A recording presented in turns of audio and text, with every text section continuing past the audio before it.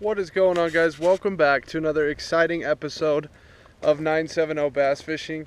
Today we're out here at Pirate Lake. The weather's been real weird, funky lately. It's really warm right now. So right now, today I'm just going to kind of focus on just one tactic. I'm going to be flipping the edges of the grass right over here. I'm going to walk over there, just flip the edges right there. See if there's anything in there waiting to ambush, anything that's kind of relating to structure right now because they did move up and then we're getting ready and then it got really cold and the snow came. So I don't know if they went all the way back or if they're just tucked up somewhere relating to some sort of structure or something. See how shallow they are see how deep they are where, wherever they're at. I'm just gonna flip this jig around all over right here. This is just a little micro jig little finesse jig. Football head style and it's just got the uh, Havoc Rocket Craw trailer on the back to give it that crawfish imitation. But I'll, I'll keep with you guys as we go point by point, see kind of what's going on, let you guys know what I'm feeling, what I'm not feeling. If we catch a fish, if we don't, we're going to try though. That's all you can do, fellas. That's all you can do. Without talking too much, let's get after it and go catch some fish. Peace! Alright guys, here we are with this little finesse jig. I'm just going to be pitching it on the edges of the grass, in the grass, just kind of wherever. I'm going to just try to cover some water. I'm going to run this thing slow enough that these fish will bite.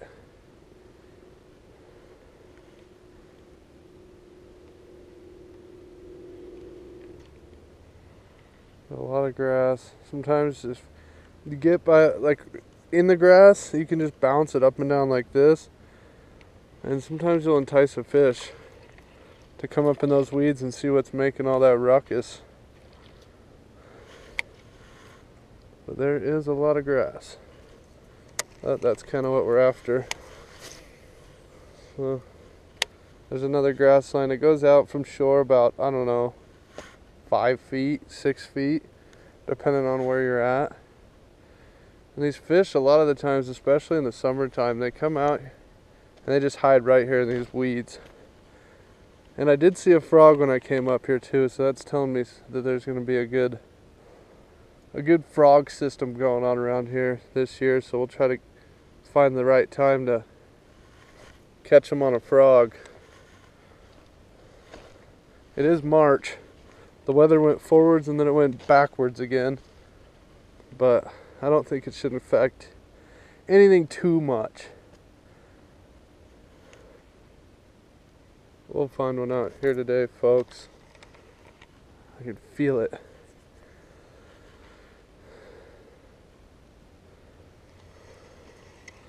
I'm trying to feel the bottom too as I go, guys. If I come across a rock bed or some random rocks or a flat spot or clearing anything that's not what's normal, I like to just keep my bait there for just, I don't know, a 10, 10 more seconds or so and drag it in there nice and slow. Just run it through that clearing in case something hasn't seen that yet. And that usually helps a lot. Helps get a lot of strikes. You just gotta really pay attention and feel what you're fishing.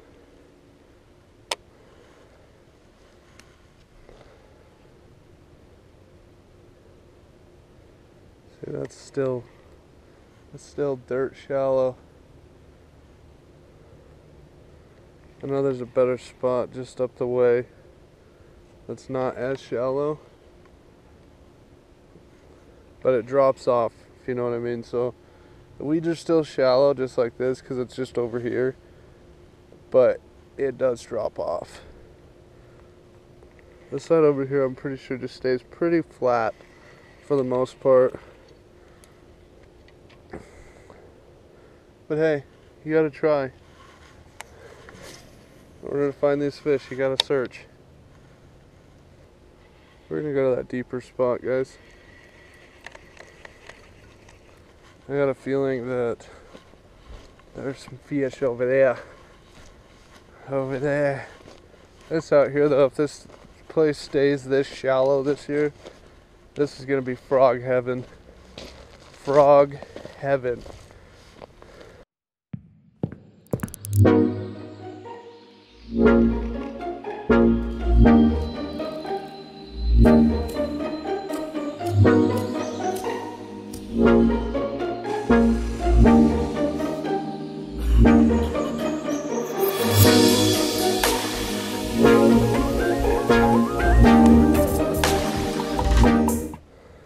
This doesn't work, guys, we're to still flip these weeds and stuff, but I'm to switch to a little zoom trick worm on a shaky head. Just change up that action, change up the profile a little bit, make it a little smaller, a little more enticing. We'll see, you know, just what these fish want. We'll find them.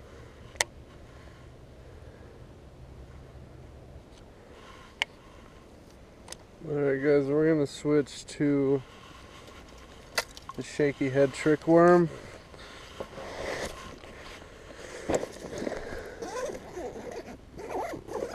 We're to try that tactic out, change the profile. Alright guys, this is the hook I like to use. It's just a little uh, D&L tackle 3 16 ounce shaky head, but it's got the twist lock and I like the twist lock a lot better. Keeps your baits on for a little bit longer.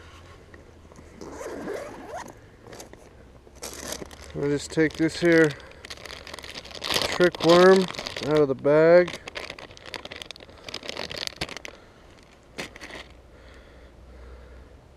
I just take it up and just sometimes I'll pinch the heads off just a little bit, give it some of that meat right there. Stick it in there, lock it down.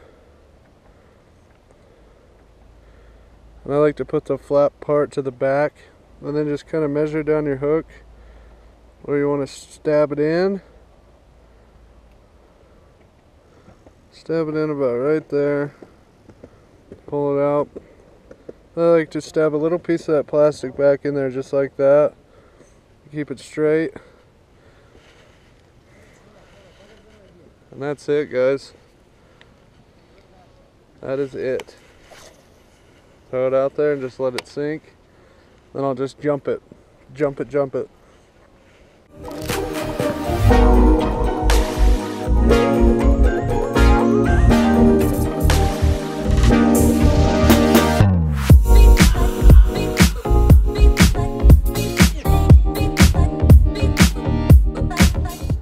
Folks, we're to make a few more casts right here. Before we head on out of here.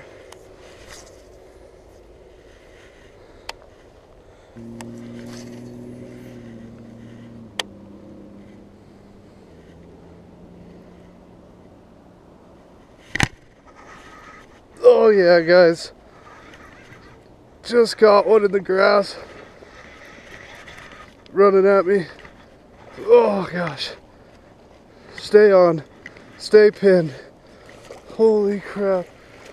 Yes, yes, yes. Got him. Got him. Yeah. Yeah, baby. Right in the side of the lip, right in the grass. It's going to be one of my last casts.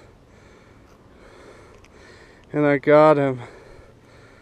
I got one, guys. Yes, look at that fish. Man, that's a big fish. Awesome, freaking awesome. I love that last cast stuff. Right there on the jig, guys, right in the grass. He was tucked up in those weeds. Let's get a quick weight. As I like to weigh them for you guys.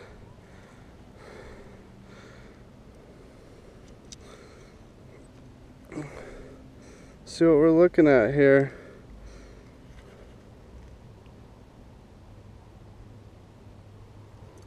Two fourteen, two ounces away from three pounds. Two fourteen. Awesome freaking fish. wasn't the jig actually, guys. It was this right here, folks. The Zoom trick worm. He wanted that bait bad. He came up and smoked it. Alright guys, we're gonna release this fish right now. See you later, buddy. There he goes. Swimming off. Yes! We did it! We caught another fish! In this weird weather. He just came up and destroyed this watermelon zoom trick worm, guys.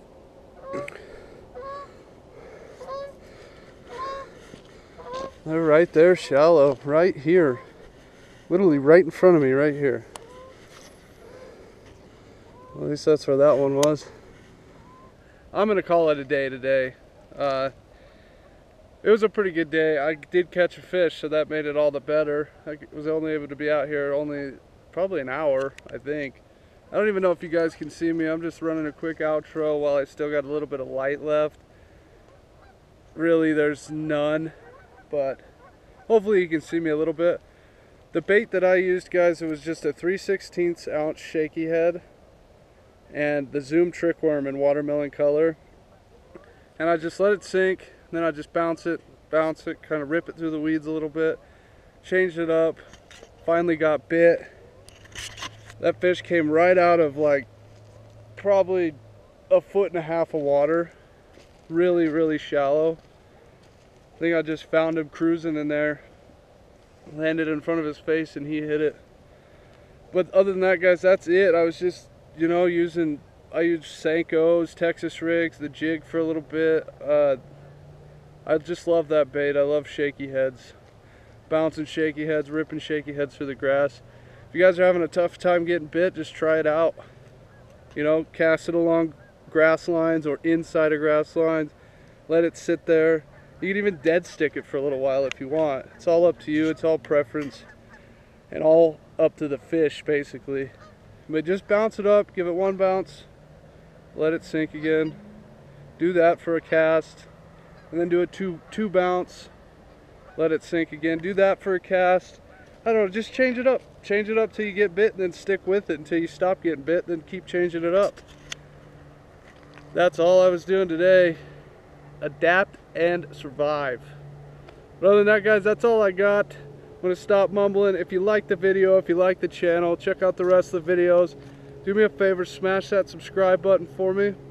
Hit that, give me a like, and leave a comment down below. You know, if you didn't like the video, let me know why. If you did like the video, I don't know, throw a comment down there. We'll all talk. I usually respond to all you guys. I know I read all my comments and everything like that, but I'm losing light fast. So that's going to wrap it up, guys. Thanks for watching another exciting episode of 970 Bass Fishing. Get out there and catch some fish, guys. As always, stay hooked. Peace.